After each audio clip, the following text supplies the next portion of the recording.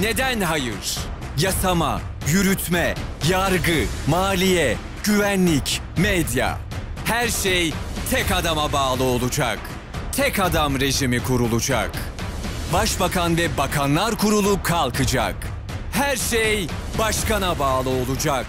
Tek adam kararnamelerle ülkeyi tek başına yönetecek. Başkan hata yaparsa ne olacak? Bu kadarı da fazla. Geleceğim için hayır.